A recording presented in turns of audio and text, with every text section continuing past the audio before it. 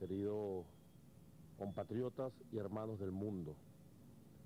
Hoy, 11 de diciembre, hemos vivido momentos de preocupación, momentos de acompañamiento, de oración con nuestro comandante presidente Hugo Chávez. Como toda Venezuela y el mundo saben, el día de hoy fue decidido por el equipo de médicos y expertos que dirigen el tratamiento del comandante Hugo Chávez para hacer la intervención quirúrgica correctiva de la lesión que reincidió en el mismo lugar de las antiguas lesiones. Hoy podemos decir hasta ahora, luego de haber pasado más de seis horas de esa operación, que ha concluido la operación. El comandante Chávez se encuentra ya en su habitación, iniciando los tratamientos especiales que el equipo de médicos, de expertos, con asesoría de diversos médicos y expertos de nuestro país, de Cuba y de otras partes del mundo, han iniciado para la etapa postoperatoria. Esta etapa postoperatoria va a durar varios días. Iremos informando de acuerdo a la evolución diariamente la situación de nuestro comandante presidente. Queremos agradecer todo el amor, el puro amor, el más grande amor que la gente de bien de esta tierra venezolana ha dedicado con su oración para que esta operación culminara correctamente y de manera exitosa. Ha sido una operación compleja. Los médicos han estado en comunicación permanente con nosotros. Hemos estado en comunicación permanente con sus familiares, tanto en Cuba como en Barinas y aquí en Venezuela. Y hemos vivido momentos complejos de tensión. Pero afortunadamente esa humanidad gigante de nuestro comandante otra vez demuestra su fortaleza. Y la oración hermosa del amor puro de la gente de bien también.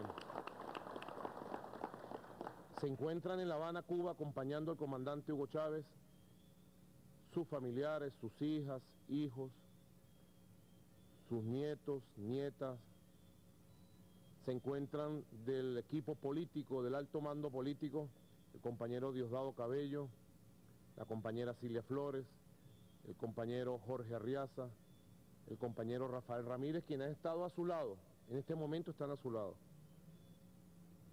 Más que como ministros y dirigentes políticos, están como hijos e hijas también.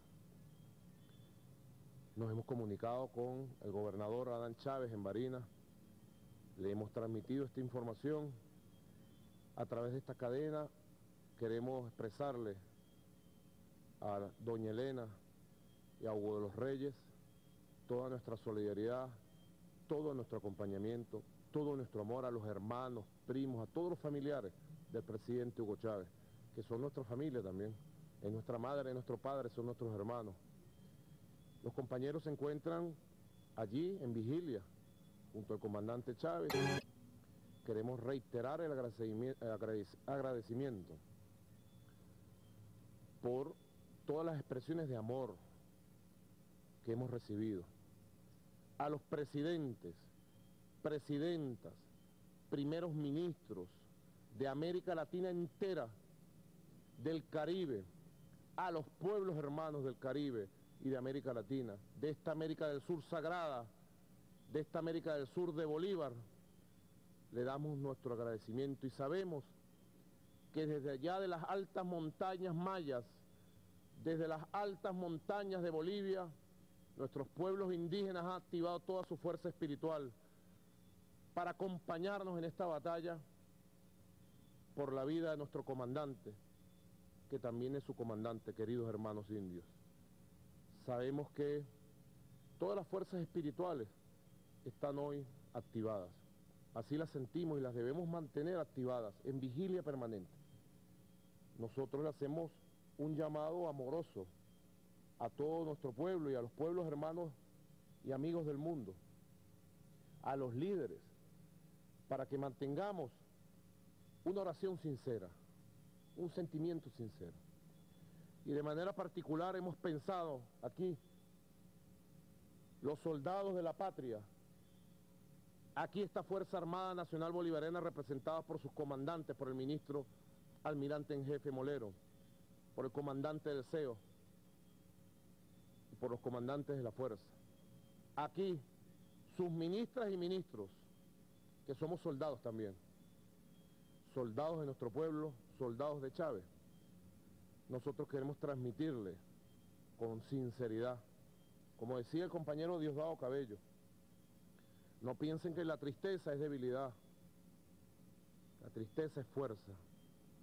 El dolor compartido de un pueblo genera más dignidad, más conciencia de la hora que estamos viviendo. Pero con sinceridad le hablamos a aquellos adversarios, opositores, a los enemigos inclusive de nuestra patria, pero le hablamos sobre todo a los que son venezolanos, a los que nacieron aquí y que destilan su odio y su veneno todos los días. Basta ya, cese el veneno, cese el odio contra el comandante Chávez. Por favor, basta ya, respeten al presidente Chávez, respeten la tristeza y el dolor de un pueblo digno que se ha hecho libre bajo el mando y la batuta de este gran hombre. A los patriotas, a los revolucionarios, a los antiimperialistas, a los socialistas, a los comunistas, a los obreros, a las obreras, a las mujeres de la patria, a los militares que están en los cuarteles y en las unidades militares. A todos los llamamos que frente al odio de ellos saquemos nuestra bandera de Bolívar, nuestra bandera de Chávez, de amor. nuestra bandera tricolor de las ocho estrellas de angostura y que nuestro combate, nuestra oración, nuestra acción no permita que se inocule en nuestra alma su odio, porque los enemigos de la patria quieren inocular su odio, porque sueñan con el día de la violencia general. Todos los días se meten con la vida del comandante Chávez.